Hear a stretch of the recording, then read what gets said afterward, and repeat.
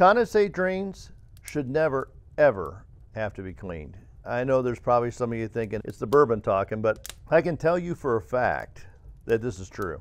Because the only water that comes out of an evaporator coil is distilled water. Dirt doesn't come in distilled water. Well, how does the dirt get in there? It's pretty simple. It, it gets past crappy filters and crappy installed filters. We got to make sure that if we're going to put in a high quality filter media, it's about lowering the air velocity as it goes across the filter. If we make sure that those particulates are trapped in that filter, then they never have an opportunity to land on the evaporator coil where they end up providing the food source for the biological growth that happens in the condensate drain.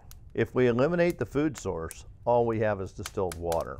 We pay close attention to the type of filter media we have.